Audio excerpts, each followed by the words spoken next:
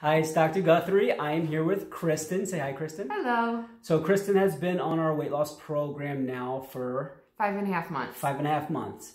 And how much weight have you lost in five and a half months? Uh, over 101 pounds. And today, what was your weight on the scale? 197 pounds. 197 pounds. So, you are in Onederland. Yes, I am. when was the last time you were under 200 pounds? oh, I don't remember.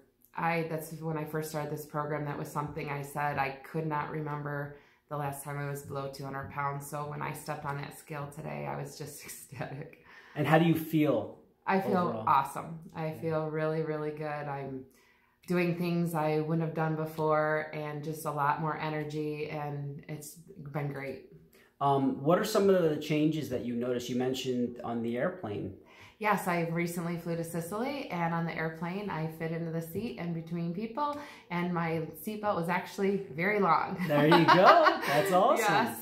Um, I know before we talked about changes in your actual physiology and your, your blood work, right? oh yes. Um, my inflammation markers are down and I'm still continuing the program and I just feel so much better.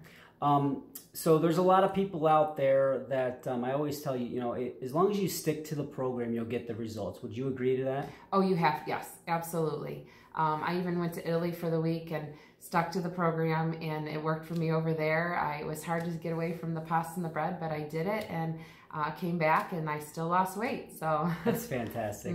Well, you're you're still not done. We got some work to oh do. no, we're still working. Um, and keep up the good work. I am super proud of you, and you're doing amazing. And you know, we just love you here. Oh, I love you, and I can't thank you and Annette enough for helping me through this process. Without you guys, I couldn't have done this by myself. Well, so congratulations.